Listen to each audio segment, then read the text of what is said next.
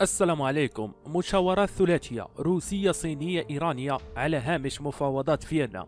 إن لم تكن مشتركا في القناة فاشترك وإذا كنت من المشتركين لا تنسى الإعجاب بهذا الفيديو.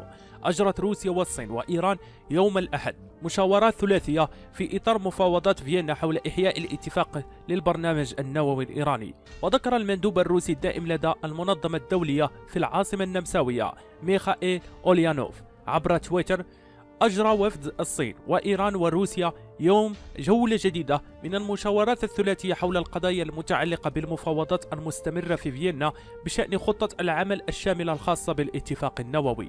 وتستضيف فيينا الجولة السابعة من المفاوضات برعاية الاتحاد الأوروبي لإنقاذ الاتفاق حول البرنامج النووي الإيراني في ظل انسحاب الولايات المتحدة منه عام 2018 خلال ولاية رئيسها السابق دونالد ترامب. الذي فرض عقوبات موجعة على الطرف الإيراني ليرد الأخير بخفض التزاماته ضمن الاتفاق منذ 2019 وتجري المفاوضات رسميا بين إيران من جهة وروسيا والصين وبريطانيا وفرنسا وألمانيا من جهة أخرى بينما تشارك الولايات المتحدة في الحوار دون خوضها أي اتصال مباشر مع الطرف الإيراني.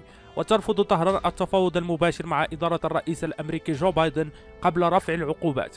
بينما تصر واشنطن على ضرورة التقدم بمبدأ خطوة مقابل خطوة.